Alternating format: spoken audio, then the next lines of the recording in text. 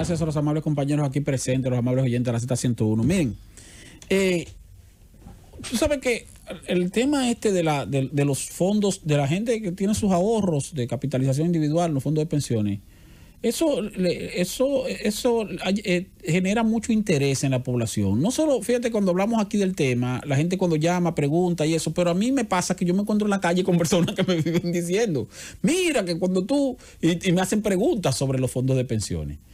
Eh, porque oh, está ocurriendo una situación interesante.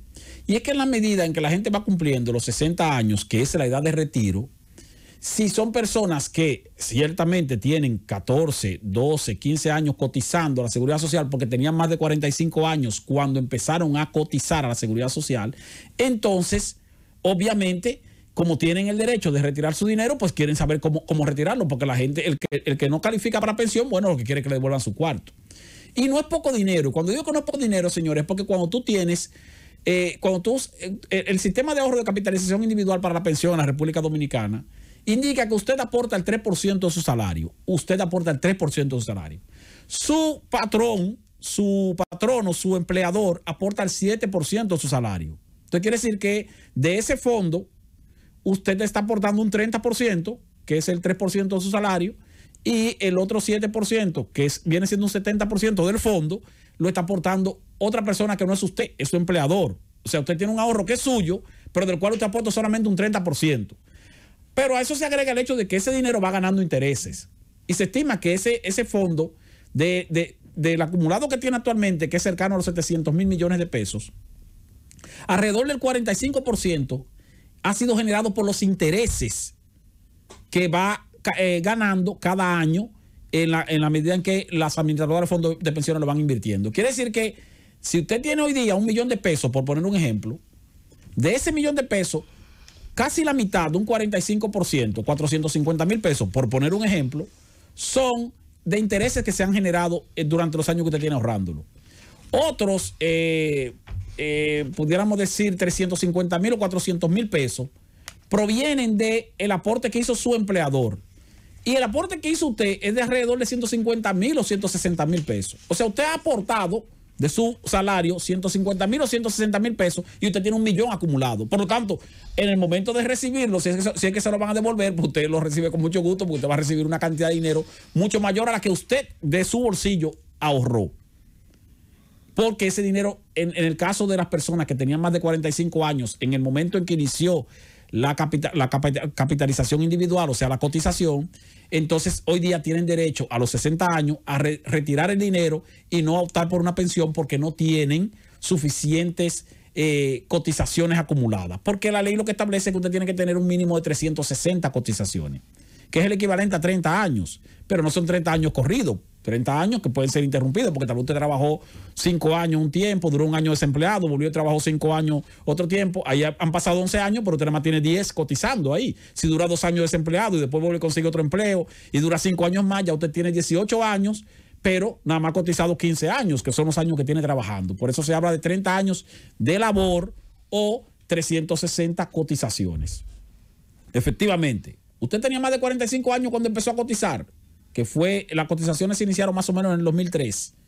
La ley data del 2001. Usted cumple 60 años ahora, pues como usted no tiene, edad, eh, eh, no tiene suficiente eh, dinero acumulado para una pensión o suficientes cotizaciones, entonces la AFP tiene la obligación de devolverle su dinero. Pero ojo, que hemos aclarado aquí y volvemos y lo aclaramos. Para que la AFP le devuelva su dinero cuando llega a su edad de retiro, que son 60 años de edad, usted tiene que tener mínimo 90 días sin empleo, o sea, sin cotizar a la seguridad social. Si usted tiene todavía un empleo formal a los 60 años, a los 61, a los 62, a los 63, cuando usted vaya a la FP, la FP lo que le va a decir, bueno, pero que tú todavía estás cotizando, tú todavía estás produciendo, tú todavía eres un ente productivo, por lo tanto tú todavía no necesitas ese dinero porque tú, tú eres asalariado. Tú tienes que dejar de ser asalariado en la formalidad. Es decir, más de 60 años y tener por lo menos tres meses sin cotizar, o sea, fuera de el, del, de la, del, del sector laboral. Luego, usted puede cobrar ese dinero cuando se lo entreguen y si posteriormente a los 65, a los 63, 64, a usted lo emplean en un empleo formal, bueno, pues maravilloso. usted cobró su cuarto y aparte de eso, usted consiguió un empleo formal eh, eh, aún pasando de 60 años. Eso puede ocurrir. Porque tampoco es que usted dice, ah, bueno, que yo tengo que dejar de trabajar, me van a devolver mi dinero y no puedo volver a conseguir un trabajo formal. No, usted puede volver a conseguir un trabajo formal, pero en el momento en que usted dice que le devuelvan ese dinero, usted tiene que tener más de tres meses sin estar cotizando a la seguridad social. Entonces, eso por un lado. Por otro lado está el caso de gente que puede ser que tengan ya 60 años y que comenzaron a cotizar eh, teniendo antes de cumplir los 45, por lo tanto, no, tal vez tú dices, bueno, pues no califican entonces a cumplir los 60 años para que les devuelvan su dinero porque no tenían 45 años en el momento que comenzaron a cotizar. Sí, pueden también calificar porque la cotización o la devolución va a depender de cuántas cotizaciones usted tiene. Si usted tiene menos de 300 cotizaciones al llegar a los 60 años, independientemente de a qué edad inició su eh, cotización dentro de esta ley, entonces si tiene menos de 300 cotizaciones, no califica para una pensión y por lo tanto le devuelven su dinero al cumplir la edad de 60 años.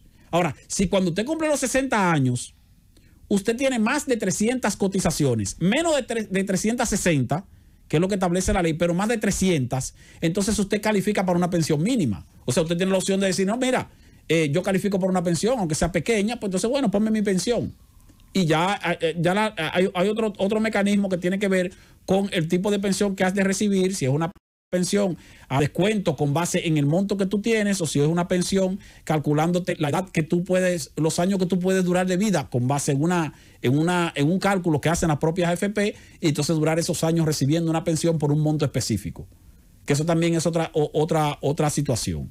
Pero eh, eh, para, para, dejarlo claro en las personas que están cumpliendo más de 60 años, que son las personas que lo que quieren saber es cómo pueden recibir su dinero. Bueno, averigüe cuál es su AFP, verifique cuándo usted comenzó a cotizar, la misma AFP se lo puede informar, verifique entonces cuántas cotizaciones usted tiene y entonces opte por retirar su dinero si esa es su conveniencia. Si usted todavía tiene un empleo formal, aunque tenga más de 60 años, su dinero está ahí, se lo van a devolver, pero usted puede seguir trabajando y tal vez decir, bueno, yo lo voy a retirar dentro de un año, dentro de dos años, o yo voy a trabajar hasta los 65 años y cuando tenga 65 años, entonces sí, ya voy a dejar de trabajar en un empleo formal y entonces, bueno, lo busco ahí. Porque usted no tiene que ir a buscarlo ahora si usted no lo necesita, aunque ya tenga los 60 años. Pero tiene el derecho de que se lo entreguen y se lo van a entregar sin ponerle pretexto. Y si le ponen pretexto, entonces usted va a los organismos correspondientes, que en este caso no solo la DIDA, la Dirección de Información y Defensa del Afiliado, sino también la propia Superintendencia de Pensiones, donde tienen que responderle por esa situación. Y puede también denunciarlo ante cualquier otro, otro estamento. Pero repito, yo conozco personas Conozco personas, amigos míos, que, ya pasan de 60 años, que tenían más de 45 años cuando empezaron a cotizar, que han ido a retirar su dinero y se lo han entregado sin ningún tipo de, inconveniente.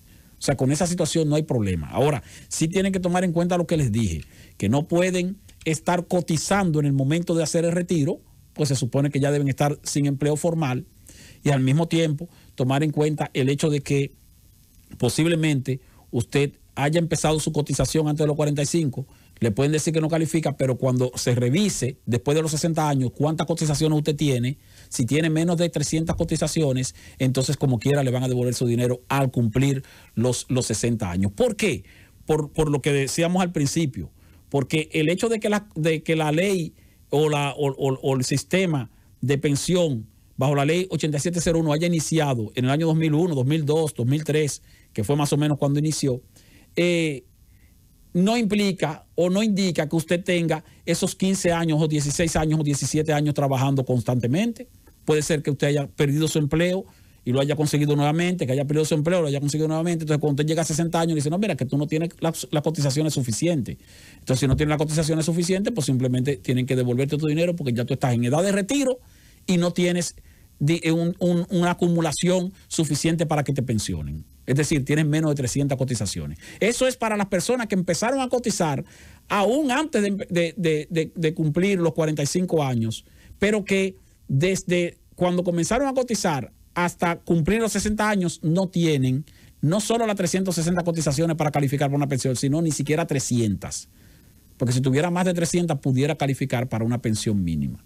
Esa, esa, es la situación de las personas que hoy día pasan de 60 años y que han tenido trabajos formales y desean tal vez que le devuelvan su dinero. Los demás, pues simplemente seguimos cotizando, como es el caso mío, el caso de José Luis aquí, eh, Susana en parte, porque Susana ya tiene, ya Susana fácilmente dentro de dos o tres años va y busca su cuarto.